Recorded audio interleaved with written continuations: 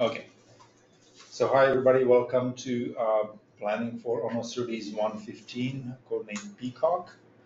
Um, we will um, just the meeting logistics, please mute your line. Uh, the call is being recorded. And also just a quick note, we already, uh, this is an afternoon session. Uh, we already held a morning session and uh, since we don't have uh, that many more attendees, what we're going to do is run through the meeting, through the first part of the meeting, which will be a repeat from the morning session in an accelerated form, and primarily leave um, a room for the new content, which, which is the GUI um, uh, slides that were added uh, since the morning, and also the new GUI demo, and also demo of uh, the in-band telemetry. Okay, so with that, uh, um, let's um, let's uh, take a look at the goals for this meeting, which is to review and, um, and demonstrate some of the Owl release accomplishments. Also uh, review and propose the various Peacock uh, release deliverables. And this is in order to help people with shared interests connect and help each other work on various uh, parts of the uh, platform. And also to uh, plan for any dependencies or collisions that we might have due to the proposed work. Okay, so Peacock schedule, um, it's a four-month uh, release, so we will be releasing Peacock in the middle of December, not too close to the holidays. Um, we are allowing two-week window for feature uh, freeze to achieve stability.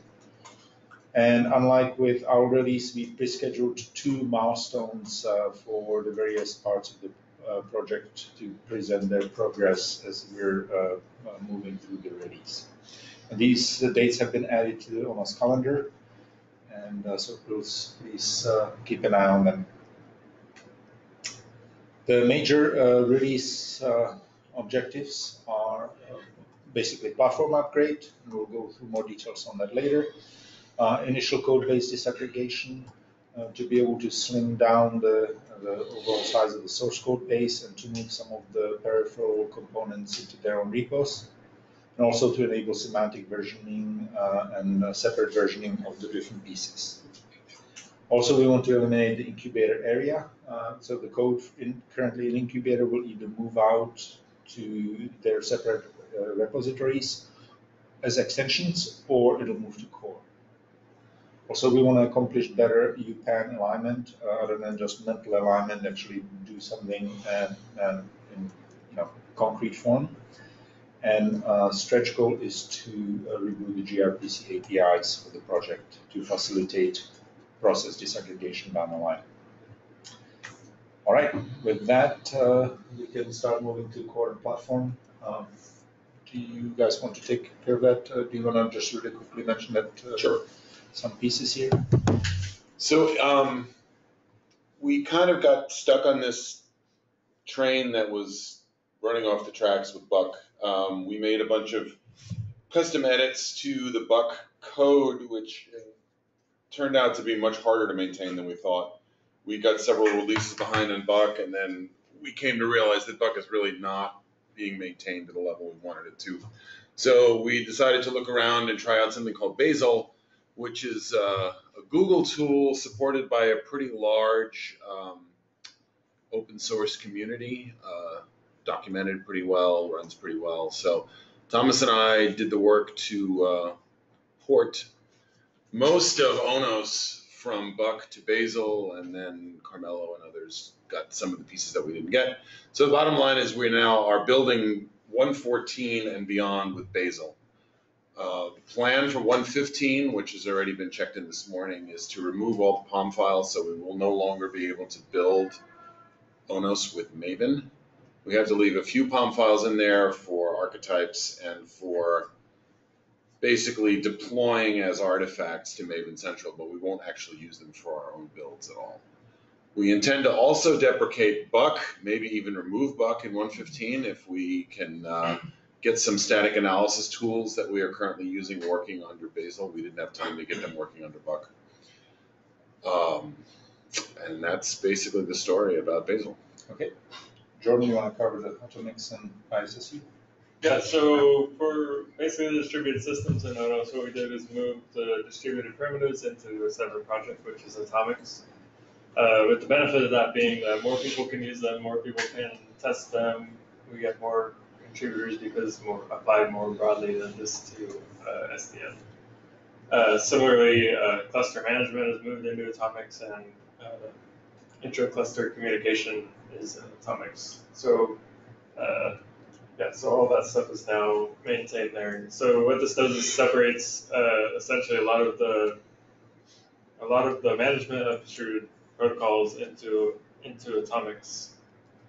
And so that's huge for ISSU because now uh, part of that work is supporting rolling upgrades in Atomix, which means we can uh, users can now introduce uh, bug fixes and new features for new distributed systems features into their ONOS cluster uh, without any downtime. And the next uh, portion of that is doing the same for the ONOS controller. Cool. Thanks. Let's take a look at the um, Peacock deliverables. Do you want to go over that a little bit, uh, Ray, just briefly?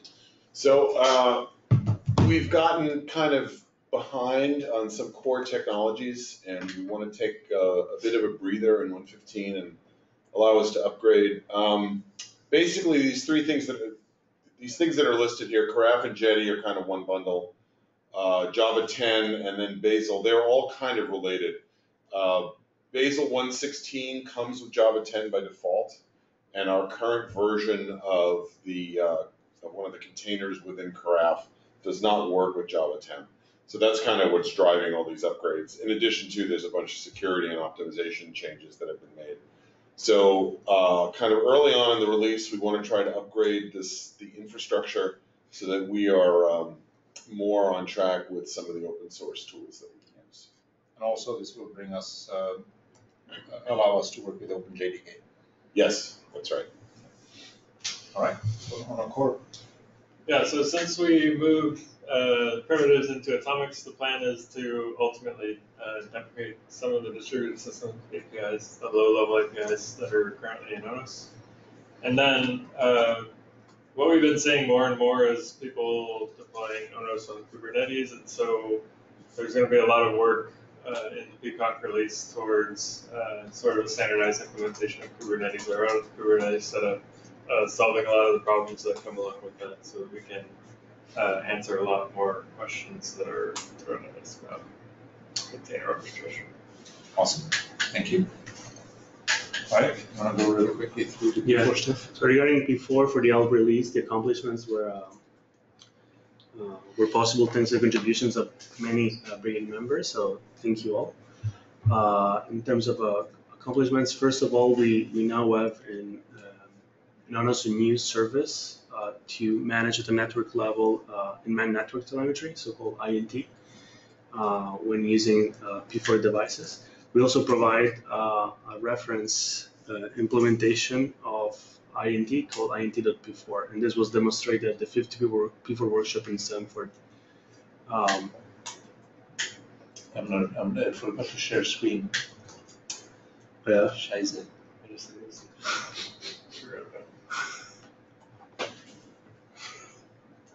Okay, go ahead. okay. Um, and, and we'll see a demo later uh, from Jonghwan. We had a new features to Fabric.P4, including uh, VLAN tagged ports, uh, support for ARP request broadcast, IPv4 multicast, and clone to control the behavior, and also initial INT uh, support. We have a new repository uh, called Fabric P4 Test, where we have a number of test cases for uh, data plane tests based on PTF for Fabric.P4. This is directly not part of ONOS, but it's uh, supporting the work of Fabric.P4. And test cases now cover uh, basic forwarding capabilities, GTP termination, and INT. We have a new STC scenario to deploy Fabric.P4 and test that. We have a number of P4 and improvements to the P4 runtime southbound, mainly uh, improvements to uh, scalability. We're now able to test large networks of around 200 BMV2 instances on three node on a cluster and maybe more. Uh, we support reconnection to lost devices, and we also support uh, P4 runtime uh, multicast APIs. Uh, there's a new P4 runtime based driver for uh, devices based on the Mellanox Spectrum uh, ASIC. And we also improved the learning material with the new ONOS uh, Plus P4 tutorial that includes uh, new hands-on exercises and a new sample application called uh, MyTunnel. And that's it for the accomplishments. Okay, thank you. In terms of uh, deliverables, uh, we plan to continue work on improving P4 runtime, and this is really towards compliance with the upcoming uh, version 1.0 of the specification. And the way we will test that is by testing interoperability with Stratum. So, so far we've been testing only one implementation of a P4 runtime switch agent, which is called PI. And now it's time to, uh, uh, to test um, how that works with other implementation like Stratum. And hopefully uh, that will be entirely compliant with uh, version 1 of the, of the specification. We're planning on working on um, adding support for GNMI and GNOI. We don't have specific models at, the, at this time, but the work will be mainly driven by the, what's available in the Stratum implementation. Most probably we will start with port uh, get, set, subscribe, uh, but other models, we will see what, what comes first in, in Stratum. And we also plan to do more Fabric P4 improvements, including interoperability with OpenFlow switches, support for double VLAN tags, pipeline optimization, improving support for INT, and, uh, and perhaps more features opportunistically based on uh, demos and uh, that we plan uh, during the next four months. The first milestone is to present a demo of Trellis working with both P4 and OpenFlow switches, so to, to show the interoperability uh, between the two. And the second one is about uh, demonstrating support for GNMI and GNOI in OS. That's it. Excellent, thank you. You want to go over this really quickly, Mr. Chicho, John? Your, your one. Oh, you want, okay. Your one. I'm online, so uh, I can cover this. Uh, for QA, uh, we mainly focused on Trellis testing and HA testing. And for Trellis, uh, so the, the Trellis team helped us to uh, all the plan tests, which include the complex scenarios for multicast and routing feature. And we also covered router failure scenarios and hosting scenarios. And then we started work on to migrate the existing segment routing test to the hardware pod. Uh, for HA, we uh, finished the power failure test, and we also migrated all the HA tests to use the segment routing setup. Um, besides these two items, we also updated test framework to and, and the tests to accommodate Atomic 3.0 upgrade. And then uh, we also include the documentation for Jenkins and RScript. Uh, for deliverables, okay, so still focusing on segment routing and HA, so we will be um, migrating all our segment routing tests to the hardware and we will uh, also implement UI tests. Um, for HA space, so the separation of atomic and ohms introduced a lot of new scenarios. So we'll test plan for all the scenarios, and then we start to work to create or update the HA test. And uh, we'll also create more upgrades. And then after we get the, the feature of running uh, Kubernetes will also um, test that. Um, for the milestones, we are planning to demonstrate how we run the same kind of routing test on both Mininet and the uh, hardware part. Uh, the other milestones are basically just completion of QA deliverables. That's it. All right, thank you. Right, so uh, Sean was kind enough to provide um, um, summary of his accomplishments for the GUI 2 rework. Um, he was unable to attend. He said he would try, but apparently he didn't, uh, wasn't able to make it. But anyway, thank you, Sean, anyway, for uh, putting this together. So I'm going to try to do best, uh, trying to um, represent the work. So the, the purpose here is basically to upgrade uh, the, um, um the GUI framework to use the latest or I guess more modern versions of Angular because the versions of Angular that current UI uses is getting obsoleted. And so we're basically moving on to V6, which is a huge upgrade from version 1.3, which is going to be obsolete in about two years. Um, it's also built uh, using CLI, supports test and linting. Um, currently, it's uh, working under Buck. This is one piece of the code that was not moved to Bazel yet, but that will be done very, very shortly. Uh, but since this is not part of the official build anyway, it doesn't really matter. So the framework code has been mostly uh, ported to Angular 6. Uh, there still remains to be some refactoring done to be able to align to better with Angular 6 philosophy, like for example, no um, no uh, direct element manipulations, which is something what, that the, the D3 framework does specifically and relies on it specifically for implementing the topology view. Also, the localization, the WebSockets, the menu navigation, and uh, majority of the tabular uh, views have all been ported. So that's actually quite impressive. Um, the table builder has been replaced with uh, um, with just basically base classes, just using object-oriented uh, type um, um, principles, which are now possible with uh, ES6.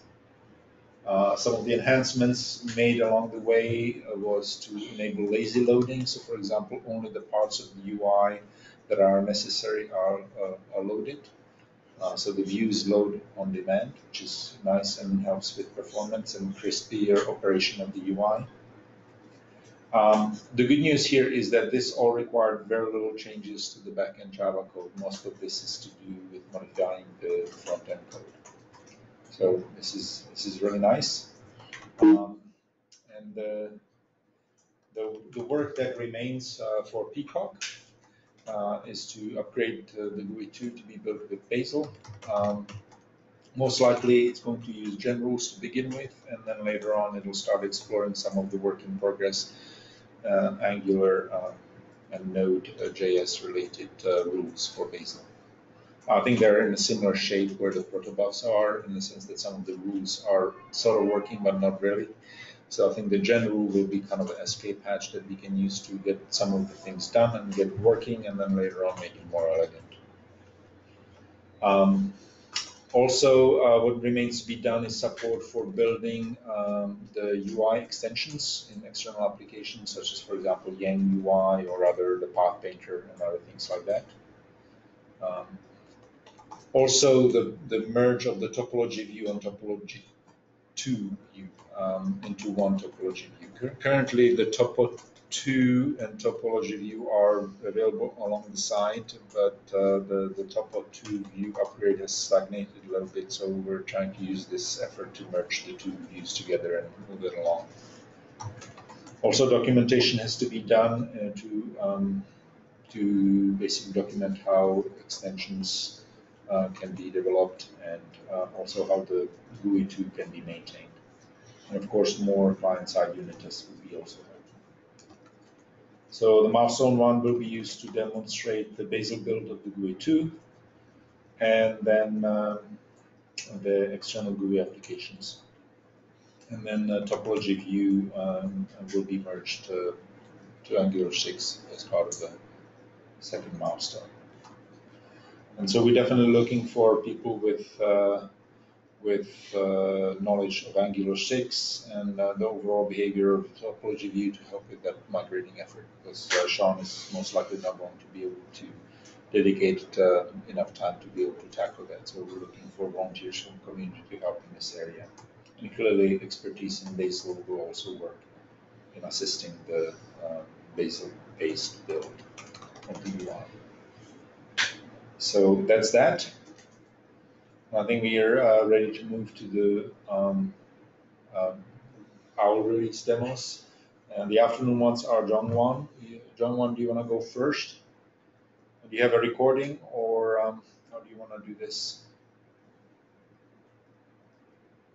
Should I share screen with you and then you drive the demo or do you want me to um, point um, YouTube video and play it from from here. How do you want to do that? Uh, okay, so I have uh, prepared one slide, and then I will play the the demo video. Okay, so I'm going to give you the presentations rights. Okay. When you're ready, please share your um, share your screen.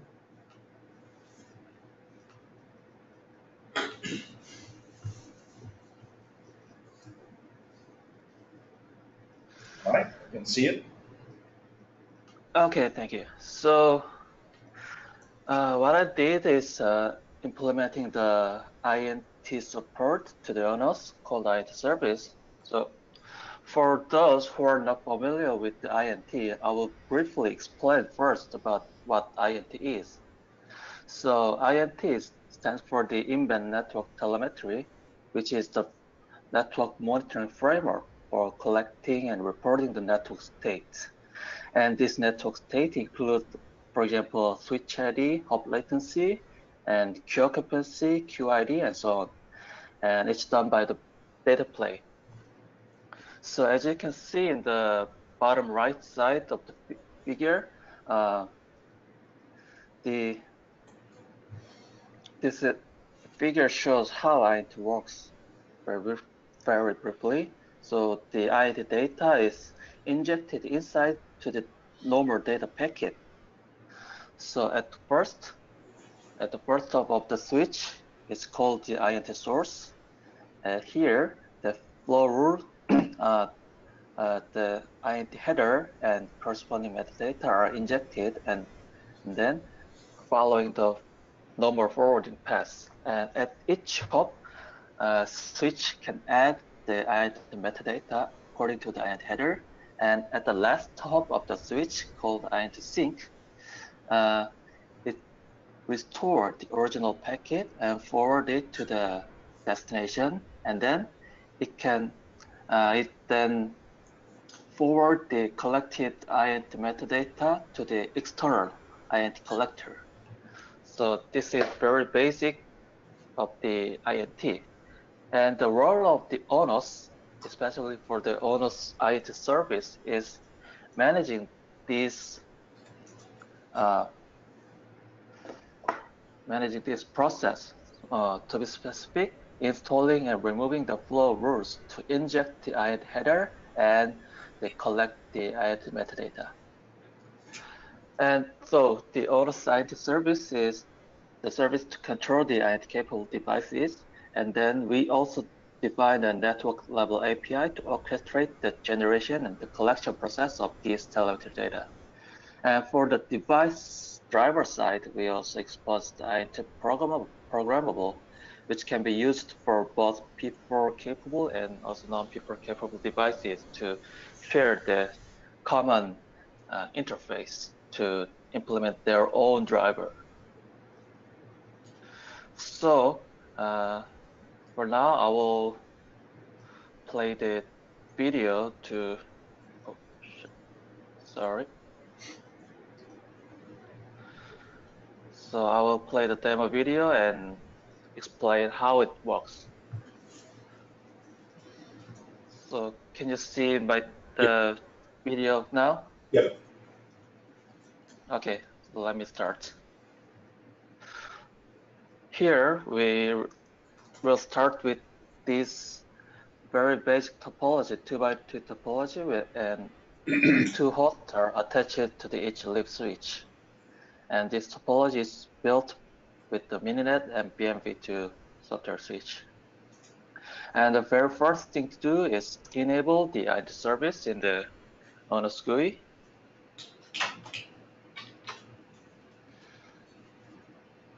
Okay. And it will add another GUI page to manage the, the INT related configuration. So first thing to do is configuring the INT report collector. So since it's running outside of the ONOS, uh, we need to configure uh, the INT collector also on the outside of the ONOS. And then uh, we will generate a sample flow we are targeting to monitor. So I've done this using the Mininet and iPerf. After that, uh, uh, we are specifying the five tuple flow rules to specify the target to monitor. Uh, here we are calling it as an INT intent, uh, but uh, one thing I want to notice here is that uh, uh, we just borrow the name of the intent from the ONOS intent framework, but we are not using the INT intent framework at this moment. We are just using the name and concept of the intent. So here, specifying the source address and destination address and port and the protocol. So we can specify all of these fields or uh, can skip uh, some of the fields and it's also wildcarded. And then specifying the type of the metadata to monitor. So here we specify the switch ID, hop latency, and egress timestamp to collect. And then by clicking the deploy, the intents are deployed and metadata is set. Uh, these three metadata are set.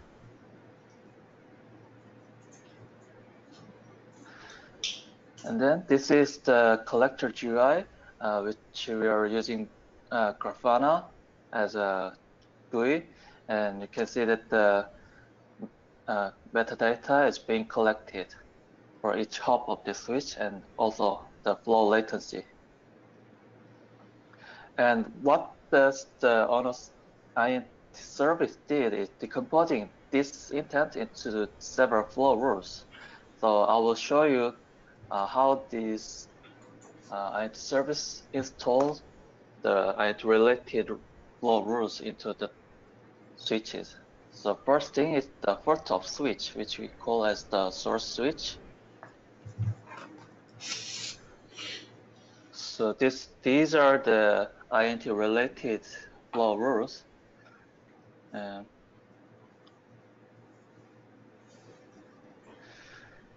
so these rules are installed by the INT service, and this rule specifies the target flows to monitors, and you can see that the many packets are being matched by this rule. So this rule will add the INT header to each of the packet to matching this rule. And then there are several rules to process the INT metadata, adding the INT metadata to each of the packet.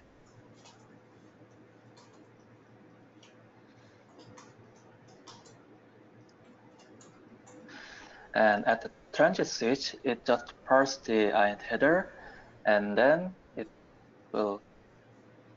This is the very basic uh, forwarding rule uh, installed by the intent framework, and this rule will add uh, its own metadata to each of the packet.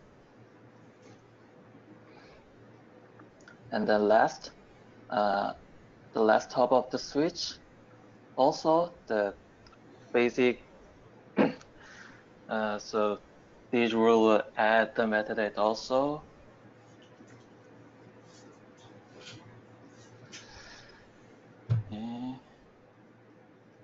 and also uh, has the very basic forwarding rule to the destination.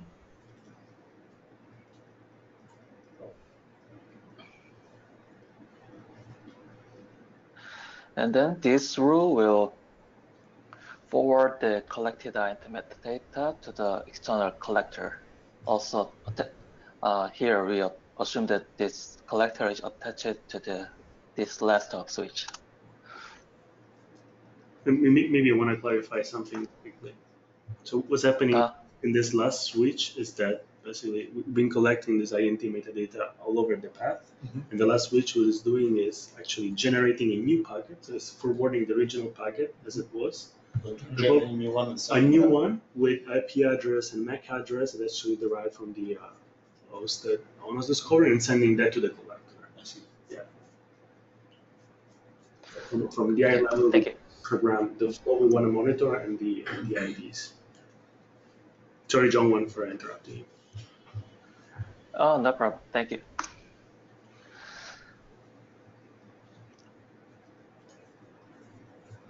so going back, sorry?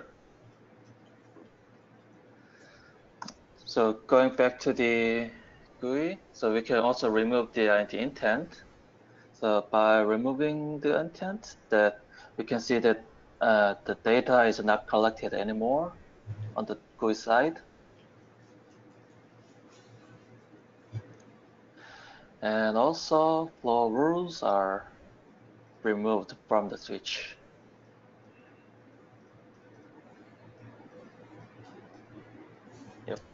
Nice. Flow rules are gone.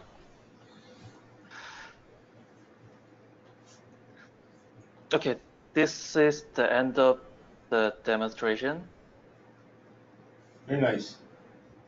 Thank you. Thank you, John. Okay. Welcome. And so now it's uh, time for uh, Sean's demo, which is also a recording. So what I'm going to do, I'll steal the presentation rights.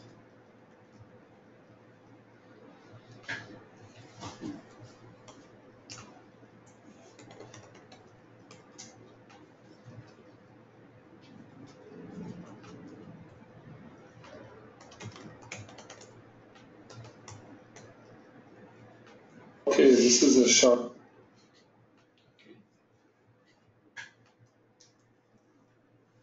Do you think audio will work? What? Do you think? I'll Uh, find out. If it doesn't, then I'll just leave it. I'll have to modify it anyway, the presentation, so to, because I didn't, wasn't sharing my oh, at the screens. beginning. So I will actually add the slides to Okay. the audio. So with that, we can, uh, here is a, um, about ten minutes, uh, demonstration, just going over, um, Sean, going over what he did. Okay, this is a short video about the uh, ONOS GUI 2 work that's going on in the ONOS project. Um, so there's uh, a set of slides uh, here that uh, explain some of the rationale uh, from going from the old GUI to the, the new one. Uh, and really the reason is to be able to avail of the Angular 6 framework. Angular 1 uh, which is what the old GUI is built on, built on, is now obsolete, and uh, and uh, you might see that referred to as Angular JS. Um, so the new Angular framework, which is at version six, is just called Angular. So you'll find documentation on it at angular.io. So some of the reasons uh, for going with uh, Angular 6 are, well, it's a modern sort of well kept and maintained uh, framework uh, for for uh, running applications and building applications with, and there's a lot of tooling uh, that comes with it that wasn't there in the days of AngularJS. So uh, in ONOS, we decided we'd try to take advantage of these for any new applications. We want to build them on top of uh, Angular 6. So uh, I'll give the link to this uh, slide set at the end of the presentation. Um, but really, uh, let's uh, just have a look at uh, what's involved in um, uh, upgrading to Angular 6. So a lot of the uh, existing um, code uh, for running the or the ONOS GUI is very complex and and really it does a, a tremendously complex job. It's amazing what was done with um, the original version of the GUI. Um, so I think uh, the objective was to mimic uh, the old GUI as much as possible and just migrate the code. Uh, and uh, inside the ONOS project itself, uh, what we wanted to do is try and keep the old GUI in place while we build the new GUI because it takes a certain amount of time to build it and we wanted to be able to run the two in parallel. So you'll see under web there's a GUI and there's a GUI 2 project. And um, the GUI 2 project basically is built using um, Angular CLI which is a command line tool for uh, managing Angular.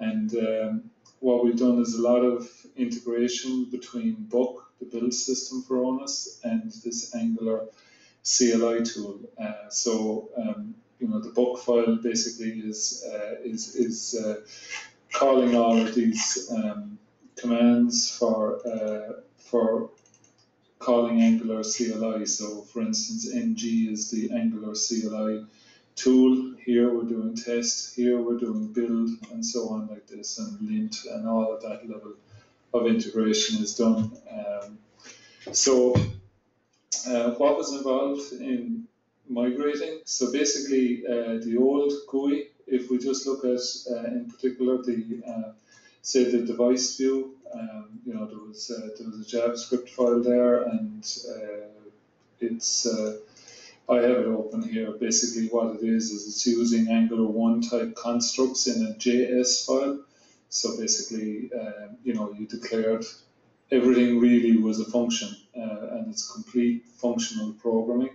So here, for instance, this was a function that was called with the constructor to all of the methods, whereas the approach in Angular 6 is basically uh, everything is written in TypeScript as opposed to JavaScript, um, and then is compiled to JavaScript, and uh, it takes a much more object-oriented approach. So you can see that here we define a class. Here we've got um, annotations. Um, you know, here we're extending a class and we're overriding methods here, for instance, like ng on init and destroy and, and all of this. So as you can see, you know, there was a fair uh, amount of migration from the style of, of uh, AngularJS across to the style of Angular 6 and TypeScript and, and all of that. And the benefits of TypeScript are, are huge. And basically, what it does is it allows you to um, to write more robust code because uh, variables are strongly typed.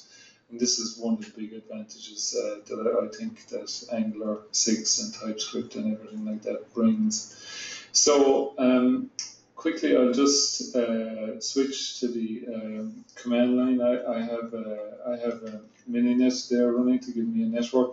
Here I have ONOS running, and I'm going to I just had run uh, feature install GUI2 and uh, now here I'm ready to log in at GUI2. So the URL is UI2 and, uh, and, and the login is exactly the same and very little of the backend of uh, the Java side of ONOS was changed to uh, make this work. So here we'll log in and um, what we've completed at the moment is a tabular views. So for instance, uh, you know, we've got applications um, and uh, it's um, it's not showing the, the icons for them at the moment. Uh, I, will have to investigate why that is.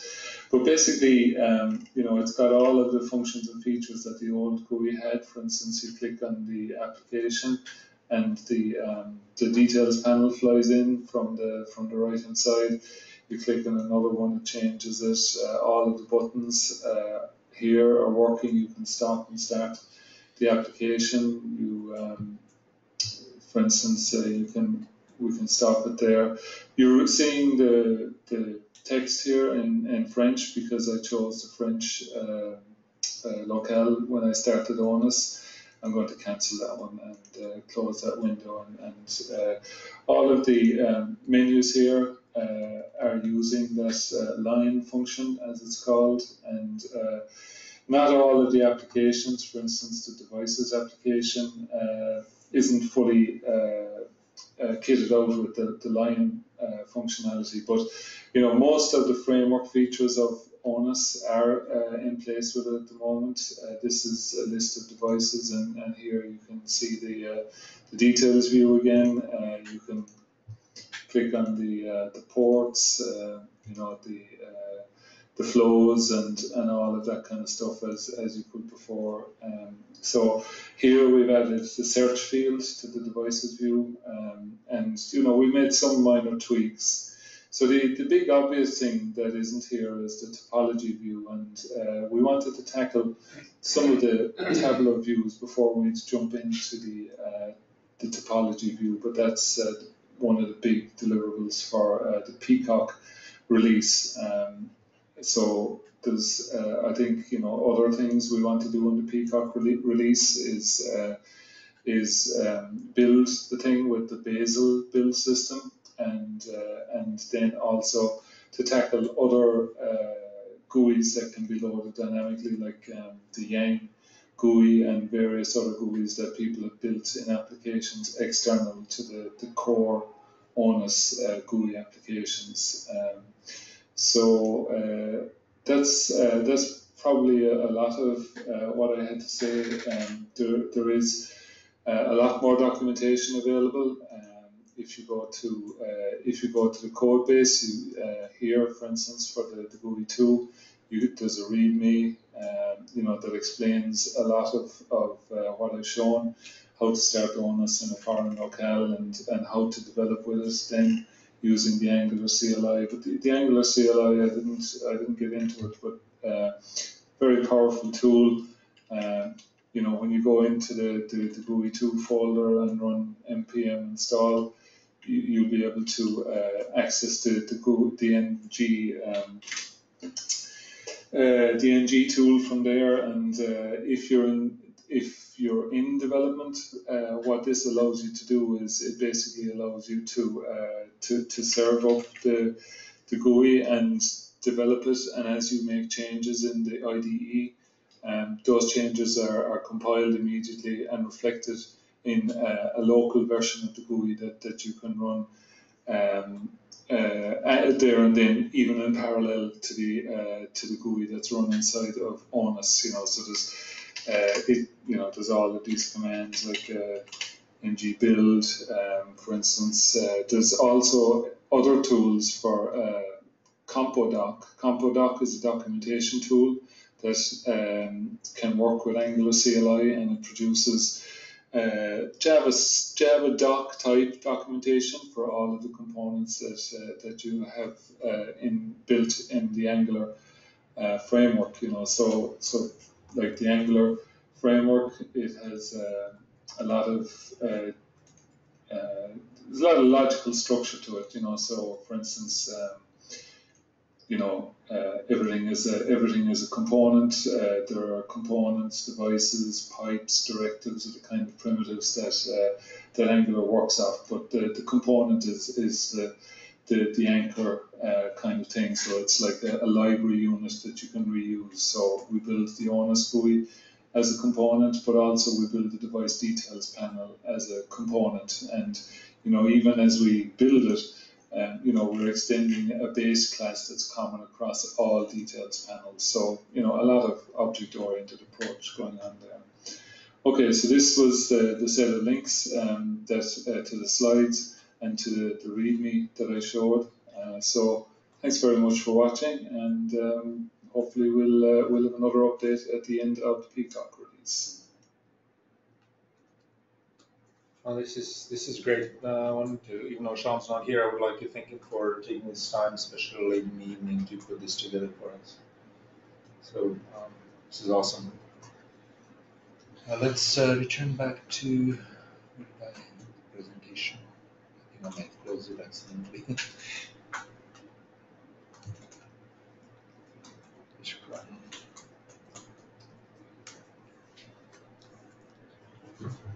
Okay, this is a short video. Sorry, uh, so I think uh, this brings the presentation to a close. Uh, thanks again, everybody.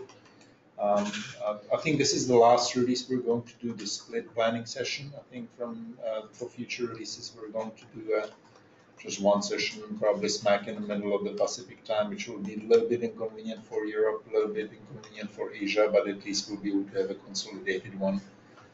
Uh, because over time it is uh, uh, proven to be a little bit burdensome, burdensome to do two of them. But anyway, thank you everybody for successful uh, our release. Uh, we're not out the door yet, but I think any day now, we're just waiting for final word from QA. So I expect that uh, in the next couple of days, probably the official release will be out, at which time we will um, close the Kanban boards that are um, currently open. We'll basically mark them as released, which means any items that have been closed as part of this release will be purged off, and uh, basically we'll refresh the, uh, the Kanban board ready to be going for the next release. Okay, so everybody who has a Kanban board can probably do that uh, on their own or ask me for help, and I can help with that. Also, we will update the tutorial VMs with the new release, and uh, we'll be ready to go full steam on next one. So thanks, thanks everybody again. Bye-bye. Bye-bye. Bye.